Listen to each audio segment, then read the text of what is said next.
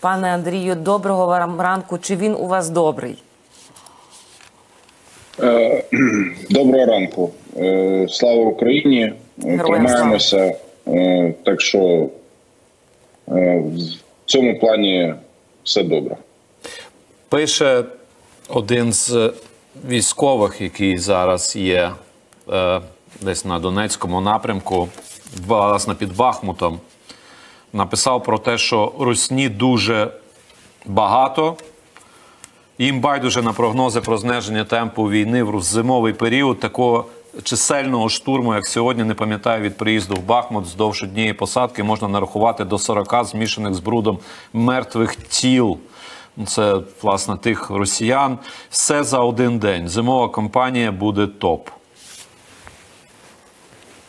Ну, десь так воно і є. Підтверджую.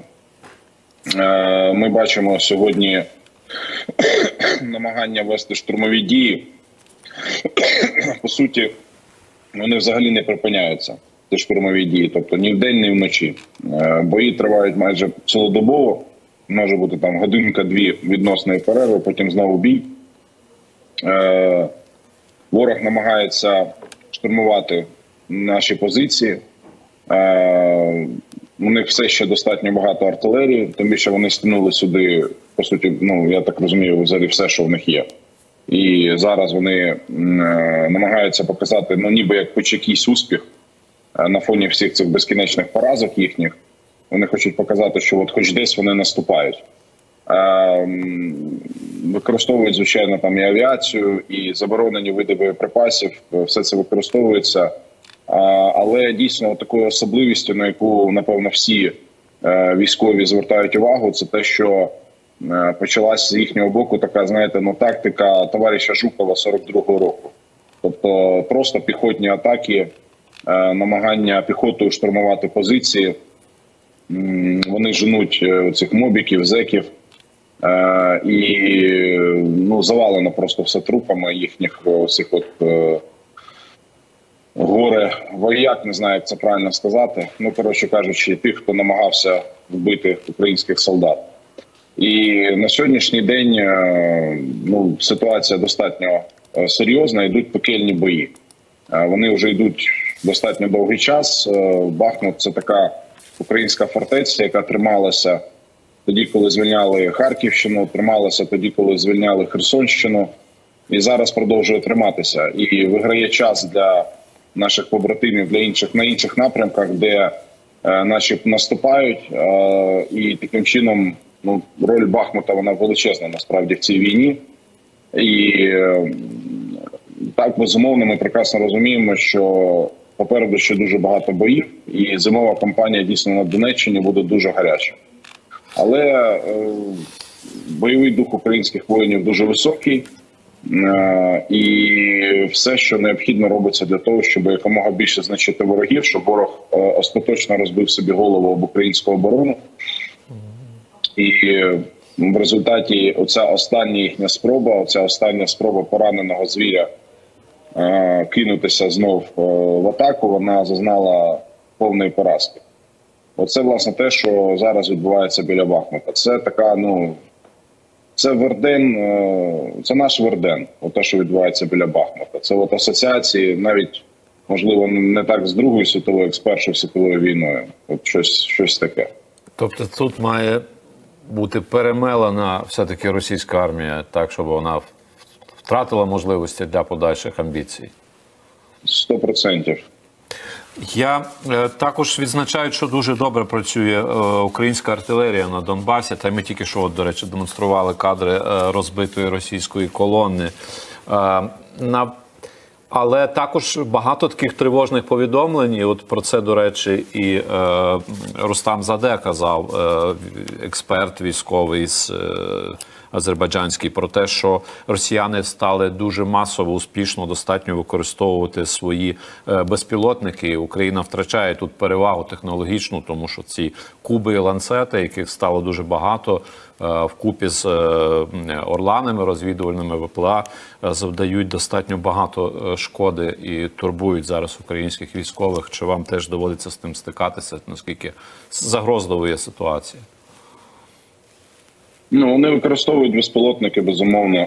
Е, Взагалі, тут треба просто розуміти, що да, от безумовно, ті, кого вони женуть в атаку, е, це там зеки мобіки. Е, Там, можливо, в окопах на першій лінії теж в основному саме така публіка. Але у них є все ще, скажімо, певна певні технології, у них є певні скажімо так, е, особи, які мають е, військовий досвід, і е, в цьому плані не треба оцієї жодної недооцінки. Тобто ворог дуже серйозний. Безумовно, цього ворога вже давно ніхто не боїться. Цього ворога зневажають, цього ворога ненавидять.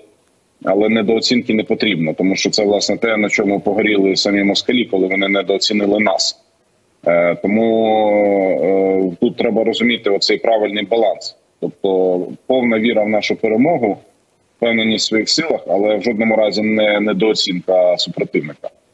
Е, да, вони використовують безпілотники, да, у них е, багато артилерії, е, у них є авіація, е, є штурмові групи, е, які ну, от безпосередньо не йдуть в першій лінії, коли ця от перша хвиля вона там майже вся гине, а можуть там використовуватися вночі для якихось е, таких непомітних дій і так далі. Тобто, все це дуже серйозно. Я просто хотів би сказати, що ті хлопці, які зараз знаходяться в окопах, наша наша піхота, от е, вони витягують цю битву е, на собі. Да, честь і хвала всім, е, честь і хвала нашим артилеристам, честь і хвала нашій авіації, яка продовжує мочити ворога, честь і хвала.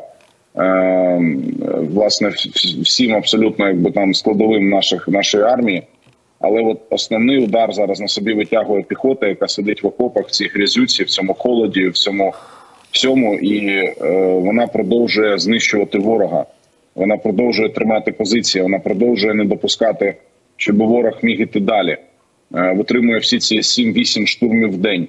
Е, тобто, це ну це нове покоління кіборгів. Тобто, от те, що зараз ми бачимо під Бахмутом, я вважаю, це нове покоління кіборгів. І країна має знати про це. Країна має знати про подвиг захисників Бахмута, тому що стільки, скільки зусиль кинув сюди ворог, і власне як українці тут тримаються, і як вони наносять ворогу втрати, це однозначно одна з найбільш героїчних сторінок історії цієї війни. А оці сили, які ворог кинув під Бахмут, це е, ті сили, які вони вивільнили, вивільнили, коли відступали з Херсона. Е, Ну, у них і тут уже і до того було багато сил. Бої за Бахмут ну, тривали ще до звільнення Херсона. Але ми, звичайно, розуміємо, що можуть зараз додатково перекидати і звідти сили. Ми до цього готуємося. Ну, скажімо так, це очевидно, що так може бути. Е, ну і відповідно, я впевнений, що і наші керманичі, наш генеральний штаб теж е, я переконаний, все це прораховує, і в нього є варіанти дій на кожну таку ситуацію. Е, тому впевнений, що будуть передати додаткові сили. Тобто так виглядає, що основна битва буде тут найближчим часом. Що ж, е, що ж, можемо лише бажати, е, бажати успіхів і Як ми можемо, звитягів. чи, чи, Так. чи всього вистачає тій піхоті, який, про яку ви кажете, що це вона зараз власне Що- що втримує Україна- ці що- позиції? Як, як ми Так. можемо допомогти?